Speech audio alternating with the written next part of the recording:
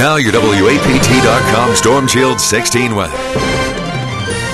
Good Saturday evening, everybody. High pressure, our main weather feature, making it for a very comfortable Saturday. Should repeat this type of weather for your Sunday. Cold front is on the way, though, out ahead of that front. On the backside of that high pressure now, winds are coming back up from the south and to the west. That will help keep temperatures maybe a degree or so warmer than late last night, but a pleasant afternoon is in store, and this is better compared to where we have been with brutal lows down into the 20s and highs only making the 40s. We will stay warmer than average for quite some time. Not the case, though, for tonight. We still got to get through another chilly night. Temperatures back down into the upper 20s, 29 your expected low here in Jackson, and 28 overnight in McComb. For your Sunday, temperatures, I'd say right around freezing. If you got the early morning service and just a few clouds heading out there during the afternoon hours, temperatures right around 63 degrees for tomorrow afternoon.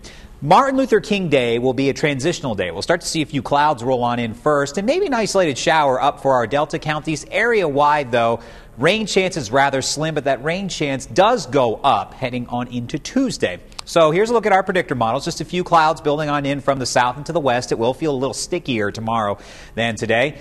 On your Martin Luther King holiday, just a few clouds pushing on through with maybe some light rain, but early Tuesday and especially Tuesday morning drive and through the afternoon hours, that's when we could see a few passing showers, maybe an isolated thunderstorm for our southeastern viewers, especially down toward Hattiesburg. Tuesday night, clouds start to clear out again, and then calmer weather will be on the backside of the weekend. So cold and clear tonight, temperatures back down to 29. We're in the mid 60s for tomorrow. Then clouds will start to build ahead as uh, we'll start to see the winds pick back up to the southeast. Only 43 for tomorrow night.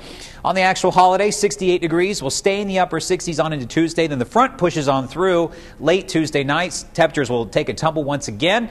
Sunshine and calm weather, eh, but still warmer than we have been, will be the back end of the week. Highs back up into the upper 60s by next weekend. I'm Live Storm Shield 16 meteorologist Ethan Houston before that forecast here on WAPT.com.